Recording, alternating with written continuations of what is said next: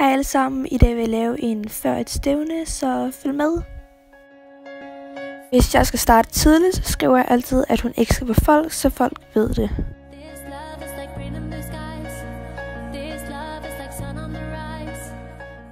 Så begynder jeg egentlig at pusse, hvis det er nødvendigt. So falling for you. So falling for you.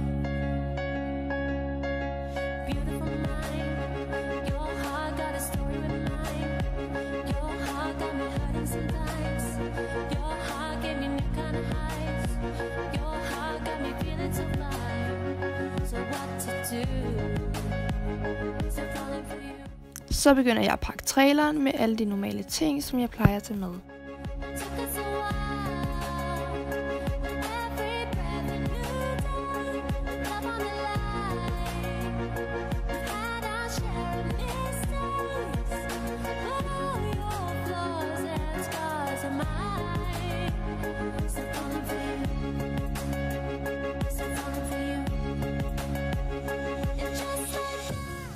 Så begynder jeg egentlig bare at ordne resten af traileren, som er at gøre hø og lægge savsmuld.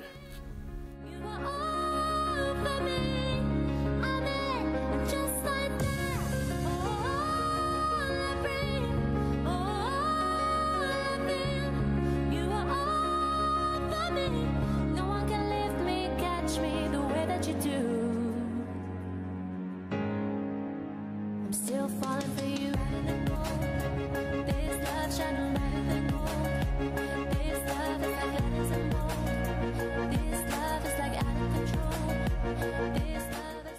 Så begynder jeg at vaske hale. Det gør jeg ikke hver gang, men det har jeg valgt at gøre i det her tilfælde, og det er faktisk første gang, jeg vasker hale på hende. Det tog hun super fint.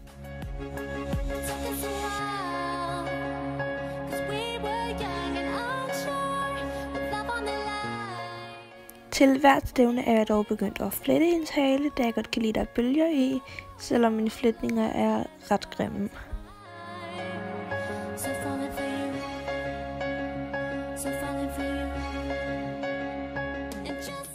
Derefter shiner jeg hende lige lidt op med noget hovolie, noget showshine og noget insektspray, da der er rigtig mange insekter her for tiden. Jeg har det rigtig meget med at glemme det, men så snart jeg husker det, så skifter jeg også til en mere fancy grime.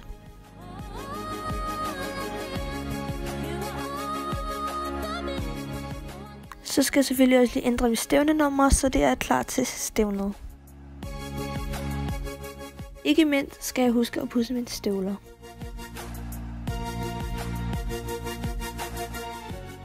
Så lægger jeg altid mit tøj klar, så jeg er klar til stævne dagen efter.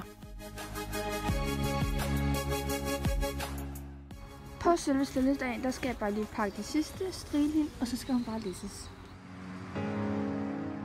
I'm still falling for you.